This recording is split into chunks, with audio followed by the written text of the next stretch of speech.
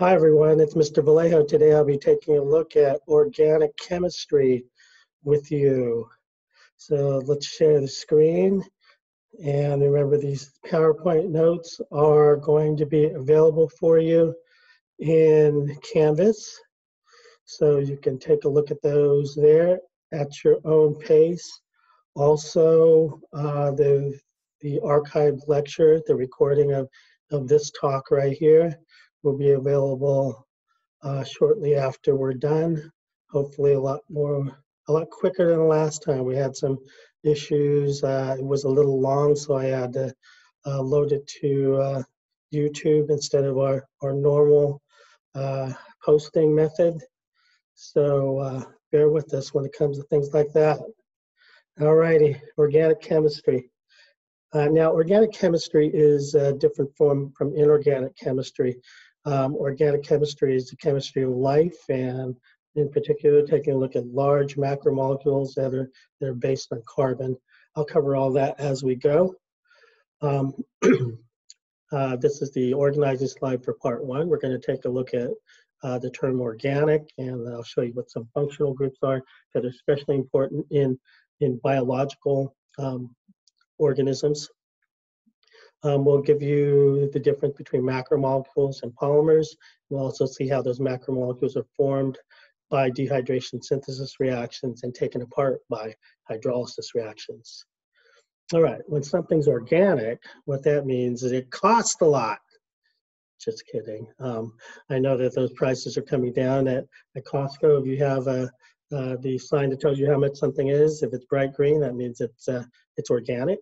Um, it used to be that you would go to uh, Whole Foods or uh, uh, Trader Joe's and pay a lot more for organic substance. But really, what organic means is that it contains carbon, and it also means it's it's a product of a living thing.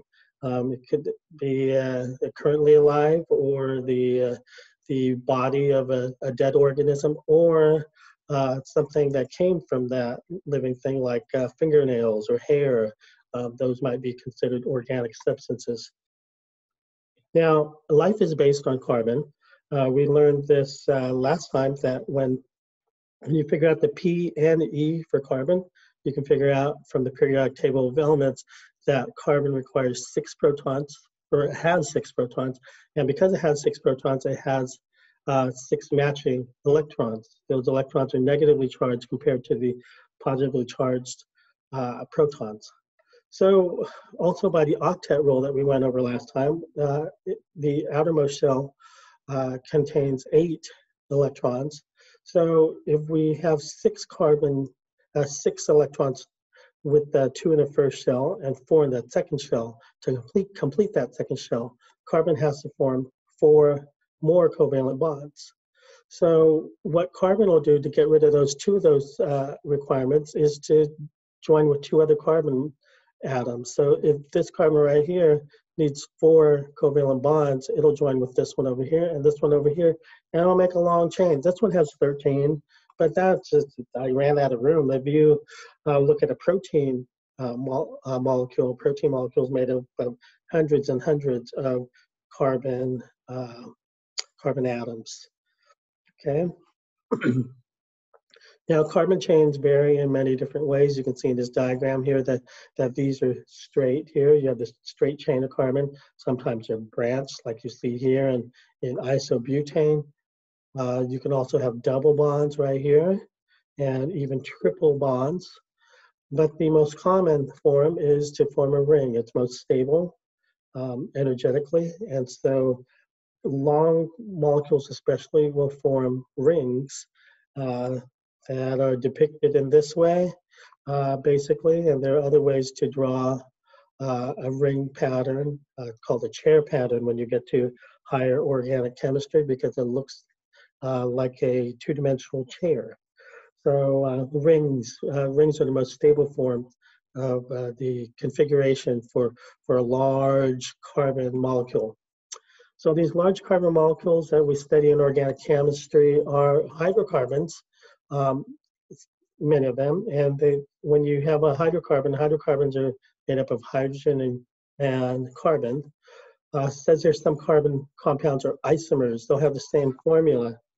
And that formula um, might be something like C612, uh, C6H12O6, which means that the six um, atoms of carbon, 12 atoms of hydrogen, and six atoms of oxygen.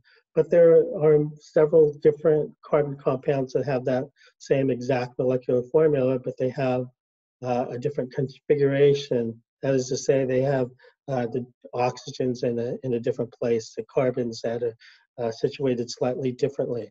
So um, those types of molecules are called isomers. If we take apart this word, iso means same. Like uh, in mathematics, you have an isosceles triangle that has two sides that are the same.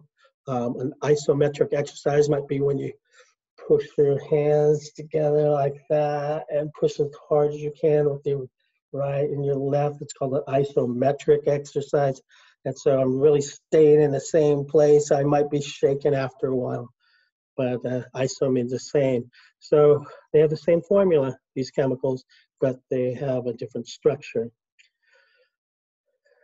Now, um, organic molecules are going to have functional groups attached to them. It's a really long chemical, a really long molecule, but it has uh, functional groups attached to them. Here's a diagram that shows you uh, many of those functional groups. Uh, most of these are highly important in, in biological uh, chemicals that are uh, involved in, in living systems. So the first one is called a hydroxyl group. It's just right here. It's an O and an H. Whenever you have an O and an H, no matter how long this thing is here, this one has only two carbons. But if it had 22 carbons and it had an OH attached to it, it would still be, this is still called the hydroxyl group. And that chemical with 22 carbons and a hydroxyl group attached to it is considered to be an alcohol. If you have any chemical that ends in OL, then that is, uh, you know that that's a, an alcohol. It has a hydroxyl group attached to it. This third one over here is the carboxyl group. The carboxyl group is COOH, as you can see here, but the C, the O, the O, then the H are arranged this way. So when you have this uh, functional group, this is uh, called a carboxyl group. And if you take a look at a chemical and it ends in IC acid, sometimes I call it an ic acid, um, like formic acid, like aspartic acid, all of these acids have this carboxyl group attached right here. Um, sometimes the carboxyl group will lose that uh, H right there in this diagram right over here. We say that's the ionized form It has a charge to it. And then that H will go back and uh, it'll flip over to the uh, to the uncharged form, the neutral form, and go back and forth. So a little bit later, I'll be taking a look at cellular respiration with you. And one chemical that's important is called pyruvic acid, but it also changes over to pyruvate when you have the ionized form uh, and ends in ATE. A couple more functional groups. This one's called the amino group, and you can see it right here. Here's an N, two H's attached to it. If you see something with an amino group uh, and then also a carboxyl group attached to it, that's known as an amino acid. And amino acids are the chemicals that make up proteins. So we're going to see that a little bit. And finally, this is very important. This is these are phosphate groups right here. And this is so big, they just wrote adenosine right here. That's a very large molecule. But attached to this adenosine, you have three of these phosphate groups. Now, between a second and a third phosphate group, uh, there's a bond, and that bond is a high energy bond. And when you break that bond, it results in a lot of energy. So ATP or adenosine triphosphate is the energy currency molecule. So when uh, when you take the food in your body uh, in the form of uh, a simple uh, simple carbohydrate called a monosaccharide, what's going to happen in your body is that the uh, the cells are going to, at their mitochondria, uh, make ATP, and essentially they'll have it almost built, they'll have A, which is adenosine, and two of these phosphate groups, but they're going to add on this third phosphate group. And as they add on that third phosphate group, they're creating more and more ATP so that when you need to do something, it's time for you to move, then um, that energy in that that, uh, that bond between the second and third ATP will be able to, to be uh, used for um, for whatever processes that uh, you're trying to engage in. So that's the amino group, that's the third functional group, and then the phosphate group is that right there. Now, you might think, well, what, what difference does that make? Well, if you take a look over here, just this one difference in this functional group, just losing that H changes estradiol to testosterone. Uh, testosterone, you probably are familiar with, it's a male hormone. Estradiol is a major female hormone. So just that little bitty change makes a big difference. And those, um, as you can imagine, hormones um, in other animals um, have the same effect as, as they do in, in people. And they have all kinds of uh, other secondary characteristics that are the result of having a particular hormone. So organic molecules are large molecules, they're macromolecules. That's what the, the term macromolecules, if you break that apart, macro means large, molecule is the, is the uh, basic um, chemical structure uh, when we have a, a compound that's made up of multiple elements. So cells make the most of their macromolecules by joining smaller organic molecules in into chains called polymers. These smaller organic molecules are, are parts. And if you uh, take apart this word, a monomer, mono is a one, and mer is the basic building block. So this is one building block. And to make a macromolecule, you would put all a bunch of these uh, monomers together. And you probably know from mathematics the prefix poly. Poly means many. So you're going to take a bunch of monomers, stick them together, and make a polymer. And this really long molecule that's a polymer is also a macromolecule. Sometimes we say it's like a it's like a brick house because some of you live in stucco houses, but some of you live in brick houses. And uh, the contractor joke is, how do you build a brick house? And the way you build a brick house is one brick at a time. So uh, that's the same thing as a polymer. You're going to build your polymers one monomer at a time. Now, when you build it, you're going to have to stick them together with some mortar uh, if you're still building bricks. But if you're building chemicals, uh, what you need to do is you stick it together uh, by the process called the dehydration synthesis reaction, or just the dehydration reaction. In this diagram here, you can see why it's called the dehydration reaction, because water is being lost. What you do is take the hydrogen off of one side and the, uh, uh, the hydroxyl group off another side, and then you stick those two together, and then you get some water. And so because these guys are going to be gone, these light blue ones here, the purple ones are going to join together. That's a slightly longer chemical, slightly longer macromolecule, a slightly longer polymer. So that's a dehydration reaction. The reverse reaction is called hydrolysis. Now, to take that word apart, hydro means water. Lysis, you might be able to figure out. Um, I think that uh, that uh, as a as a guy I can and as a dad I can fix all kinds of different things if I have duct tape or zip ties or drywall screws uh, I can fix just about anything. Um, those are some really good inventions. If you ask my wife what some really good inventions are, um, she might say disposable diapers, because we have uh, our first grandkid in the house. Um, but uh, another thing that she's very fond of is Lysol disinfecting wipes. Any fans? All right. Now, Lysol, the term Lysol uh, comes, uh, as you, you, may know, that Lysol is a, dis, uh, the disinfecting wipes are known to, to, kill bacteria. It used to be on their label. I know it still does. On the label, says kills 99.4% of all bacteria, something like that. Well, how does it do that? Well, the idea to lyse means to split. So Lysol, the chemicals in Lysol are going to split your bacteria in half and then they'll be gone. So um, hydrolysis, that means water split. And you're going to take this water molecule right here and you're going to split it. And as you split it, you're going to join those parts onto the uh, uh, the um, longer macromolecule to break it down into smaller pieces. Okay, so that's the first half of the talk today. In the second half of the talk today, uh, we're going to take a look at types of organic molecules. We'll see that there are four types of organic molecules. There's carbohydrates, lipids, proteins, and nucleic acids.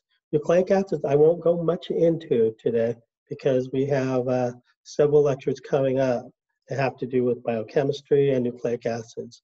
But for carbohydrates, lipids, and proteins, we'll go into some detail. For each of these types of organic, organic molecules, you'll need to know what these organic molecules do, their job or function, uh, what the monomer is, uh, what the basic building block is, what is the brick that makes the brick house, and then be able to tell us some examples. Um, in this week's lab, you're going to fill out a chart, and that chart has uh, requires you to know this information. All this information can be found in this PowerPoint and in this lecture. So you should be able to do well as you complete the handout that is part of this week's lab. All right, this is an organizing slide, a, a review slide for the carbohydrates. You can already see what the monomer is of a carbohydrate. Uh, all carbohydrates are made up of, of saccharides or specifically monosaccharides. Uh, a monosaccharide is one sugar. Uh, a disaccharide is another type of carbohydrate. It has two sugars. Sometimes it's called a double sugar. And then over here we have the polysaccharides. These are complex sugars or starches. Um, these are the polysaccharides made up of many sugar subunits. And you can see also the job is listed, and I gave you some examples of all these. So this is a really good slide for the carbohydrate, but let's go into a little bit more detail. As we take a look at the monosaccharides, again, they're the monomer of all carbohydrates. Um, the job is they're the basic food molecule that's in our bloodstream, and glucose is an example of this. Um, these bees are making honey, uh, which has dextrose in it, which is glucose. And, and so uh, that explains the, the diagram there. Uh, quick funny story I used to have a beehive in my backyard. And as a biologist, I always thought that was cool. But when my uh, uh, when my wife said, "You got to get rid of the beehive. It's stinging all the kids." We have seven kids, and we've always had at least two dogs. You have to get rid of the beehive. Um, you know, I always thought they'd vacuum it up and and take it out to the pasture, and uh, and and all those bees would go free and pollinate some flowers. But I guess we called the wrong guy. And that guy came out with a smoker, and when he couldn't get it all done, he put some chemical in there, and all the bees were gone.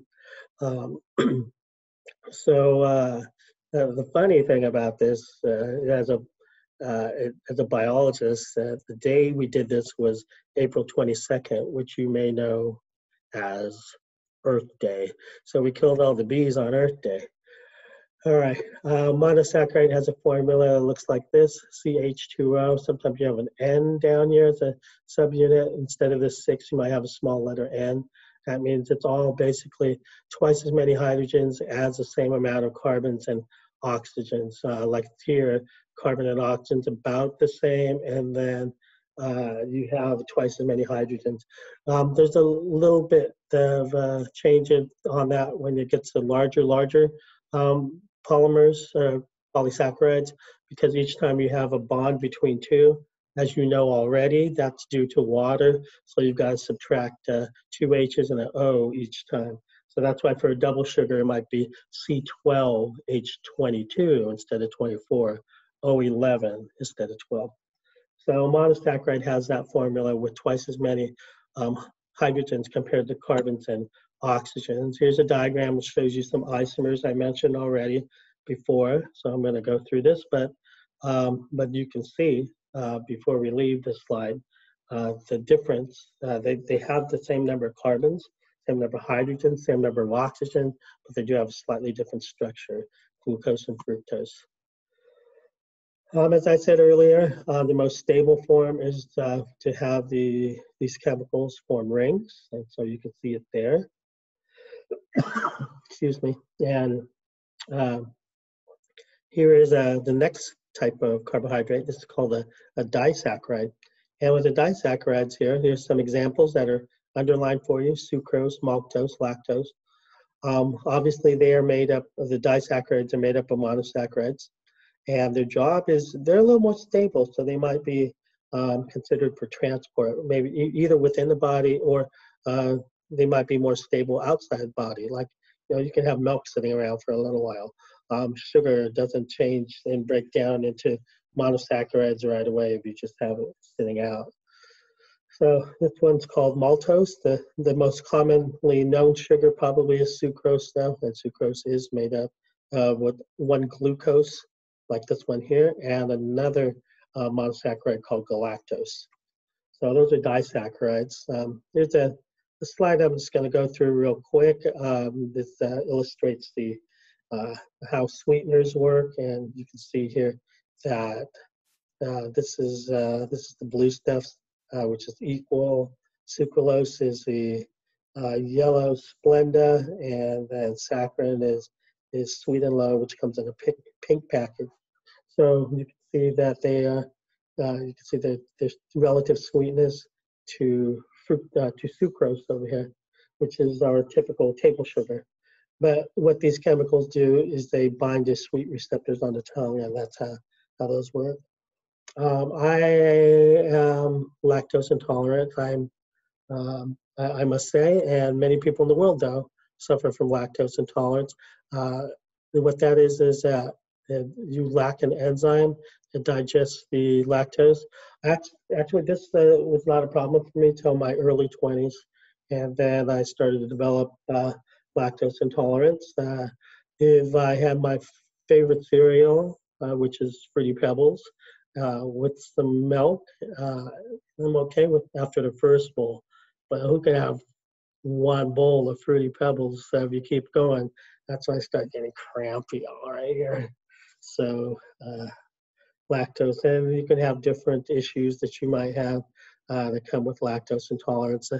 Uh, about half of all people who are black or Latino or Asian uh, will become lactose intolerant uh, in their lifetime.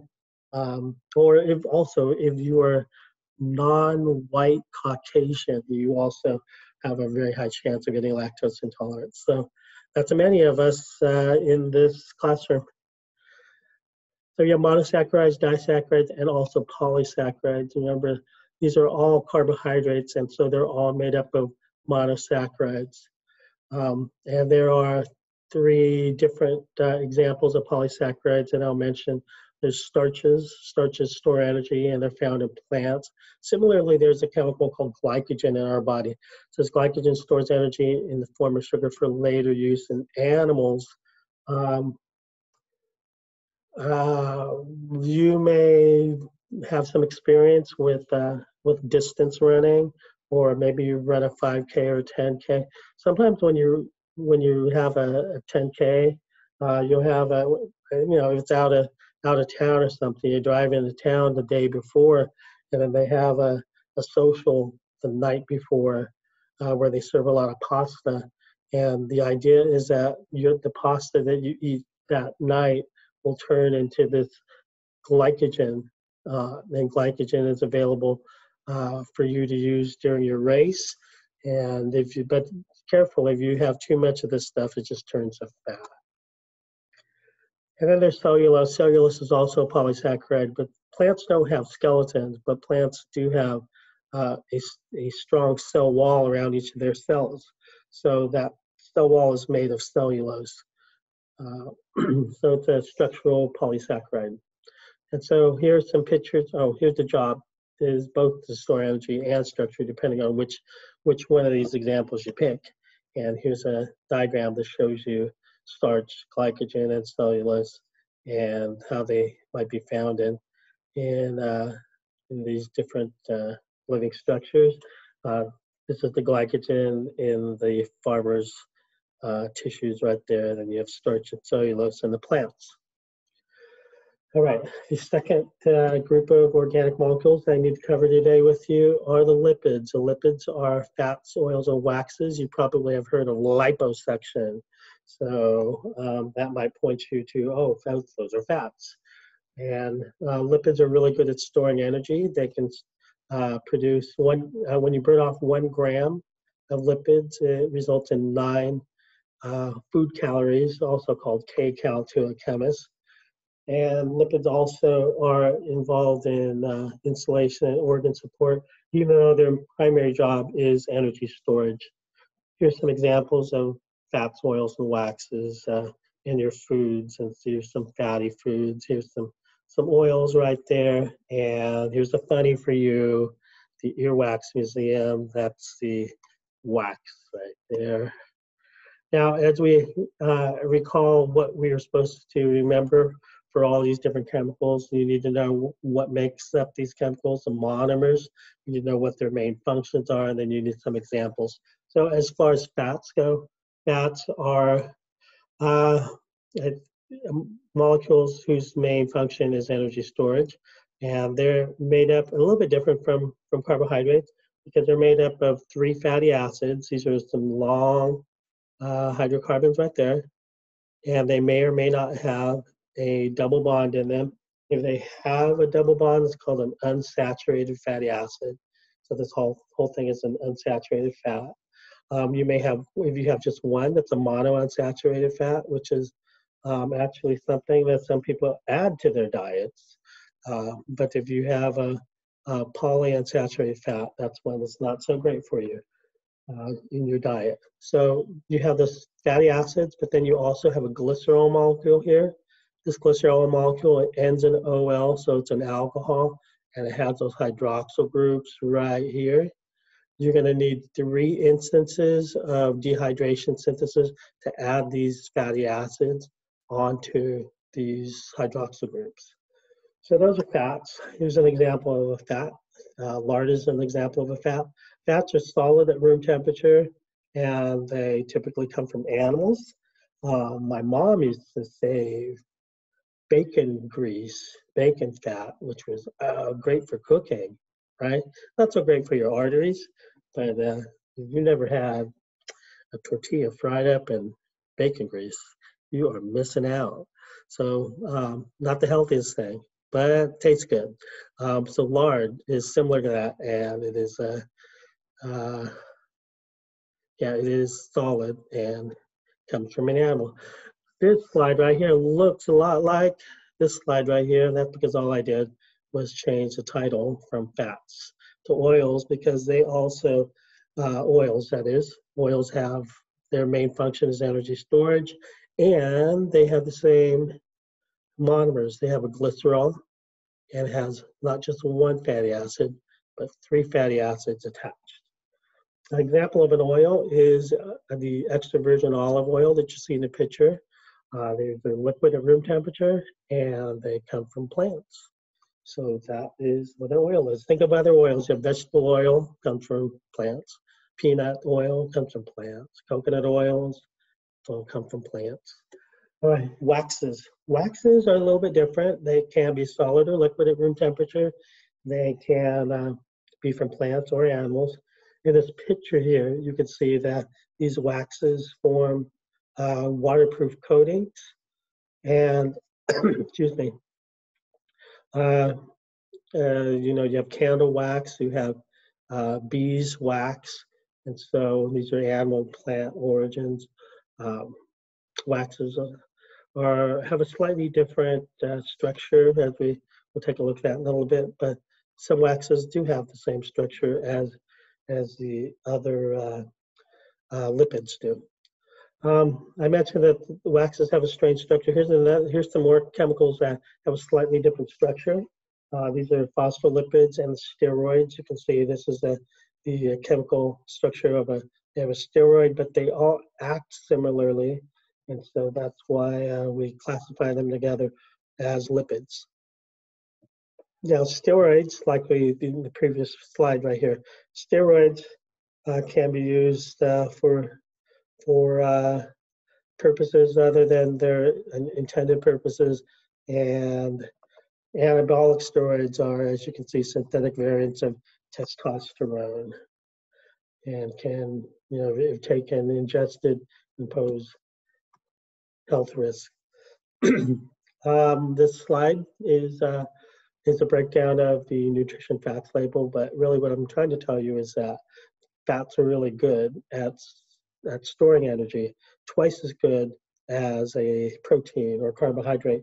If you have a longer nutrition facts label, it'll actually tell you that at the very bottom. It will tell you that uh, you get uh, one food calorie or capital C cal, so nine cal per gram, whereas proteins and carbohydrates will only give you four.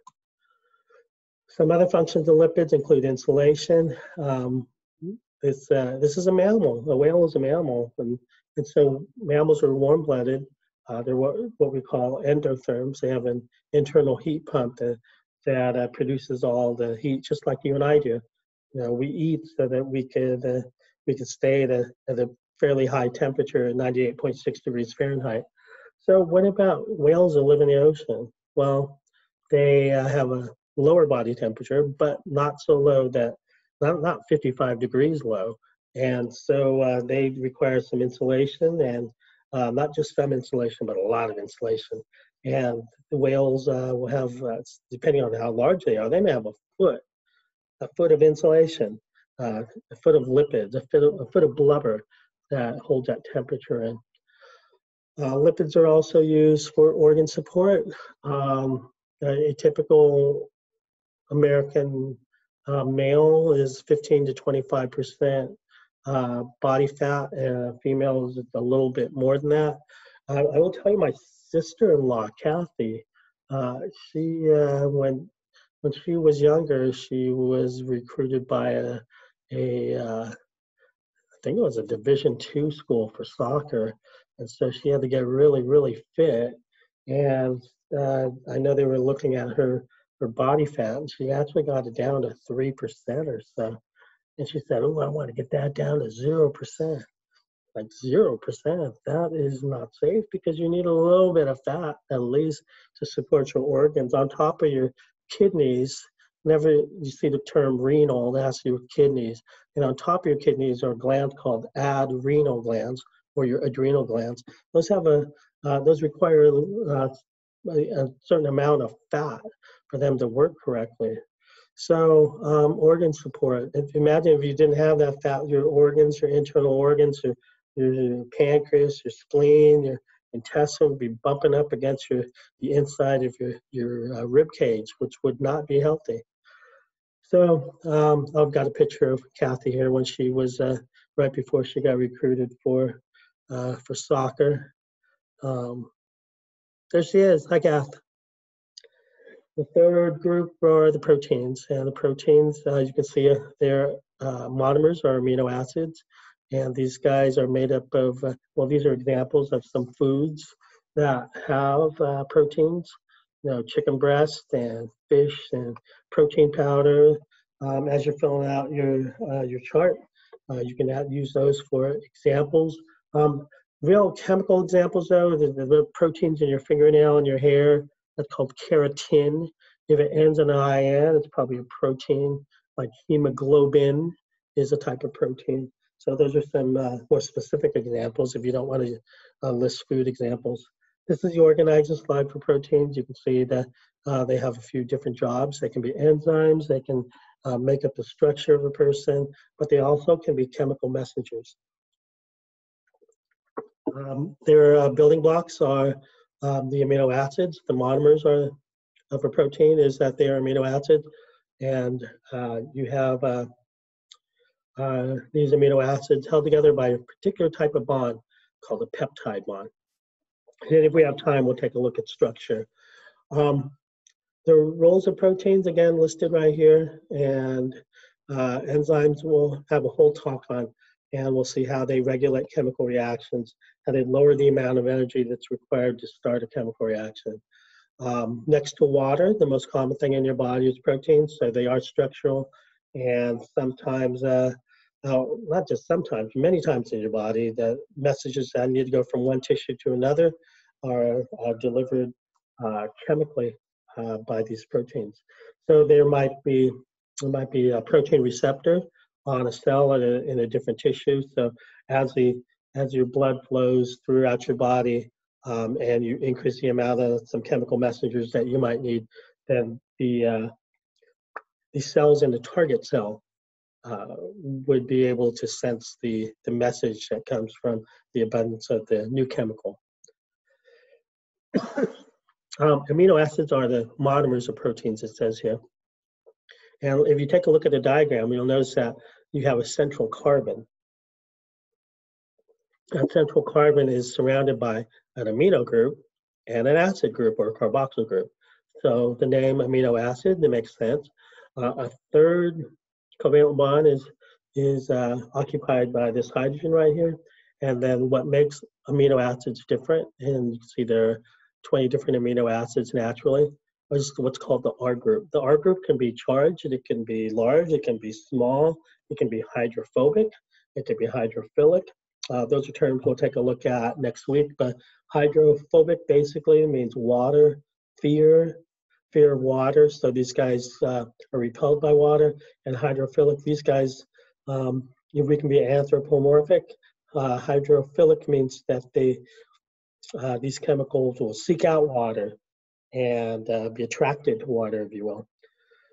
So um, these R groups, which make the amino acids, are essential in determining the characteristics of these different amino acids. So, so each amino acid has specific properties based on its structure. And here's another slide that uh, goes over that a little bit more and shows you in red this time all of the different uh, R groups that make the amino acids different. there are some amino acids that uh, are uh, that can be synthesized in a laboratory, uh, but these are the 12 that are you know, sometimes you'll hear that there are about 20 different amino acids. But what that means is that there, there are 20 different amino acids that, that are typical in your, um, in your diet. Uh, these are um, amino acids are attached together by, by peptide bonds. And then also um, these uh, amino acids are linked together by dehydration synthesis that we covered later. Um, we're running out of time. So I want to go to the last slide about nucleic acids um, so that you know that nucleic acids are made up of nucleotides and their job is to store genetic information. So again, we're going to have a much, uh, much longer time to discuss nucleic acids, but uh, we'll see uh, as you fill out your, your information for uh, this week's lab. You have uh, the monomer, and a function. And here are two examples of nucleic acids. Uh, there's deoxyribonucleic acid, which all living things have, and it's a double-stranded molecule. And then you have RNA, which is a copy of just a little bit of DNA, which is essential in protein synthesis. So we're going to cut right here. Um, thanks for coming to the lecture on organic chemistry. Um, take a look at the rest of the slides on your own uh, before you take a uh, before you take the quiz. And if you have any questions, feel free to email me. Okay. Uh, have a great uh, rest of your week, and we'll see you next time. Bye now.